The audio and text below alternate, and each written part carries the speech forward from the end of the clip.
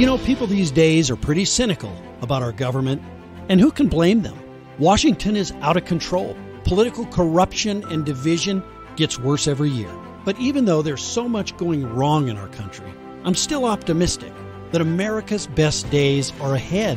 How come?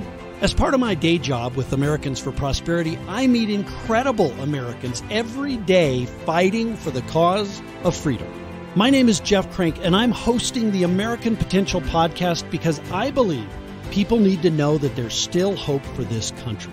But we need to take action now.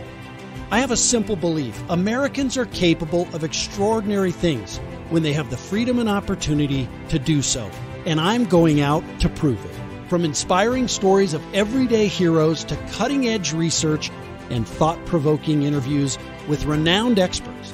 We're going to show Americans how we can use the power of freedom and opportunity to create lasting prosperity.